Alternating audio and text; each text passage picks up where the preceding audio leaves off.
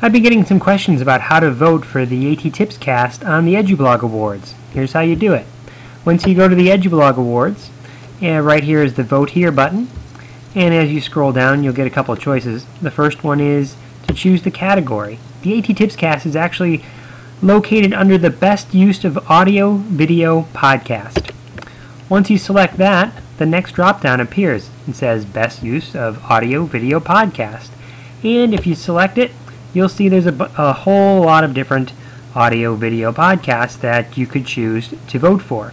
Uh, you might expect the AT Tips cast to be up here in the top with uh, under the A's, but for some reason it's been posted down below, way down here, called the Compendium blog of the AT Tips cast. If you select it and click Vote, your vote will be registered for the day. Thank you, and thanks for voting.